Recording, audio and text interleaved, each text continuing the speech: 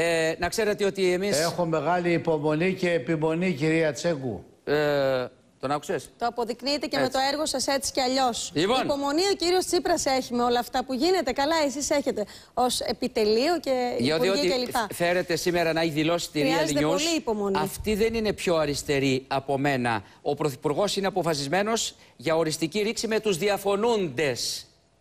Το, ε, το, το, τον έχουν πρίξει τον Ακούστε. Τσίπρα δηλαδή. Έλεος δηλαδή. Ακούστε. Ο Τσίπρας, ο Τσίπρας Ναι. το έχει, κύριε Αυτιά. Ναι. Λέω ότι ο Τσίπρας το έχει. Αντέχει δηλαδή, ε.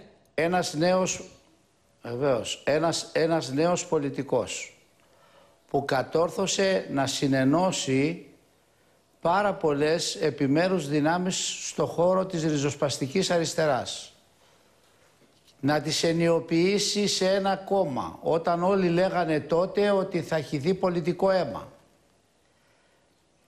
Και κάτω από τις συγκεκριμένες συνθήκες να ανοίξει τα φτερά μιας τέτοιας ριζοσπαστικής αριστεράς Ναι. λέγοντας στον ελληνικό λαό ότι μπορώ να αναλάβω κυβερνητικές ευθύνες. Δηλαδή απάλλαξε την αριστερά Μάλιστα. από μια λογική που, που, περιήρε, Πάμε που στο τώρα, τώρα. περιέρε μέχρι τότε Ναι. ότι δεν θέλει να αναλάβει ευθύνες. Μάλιστα.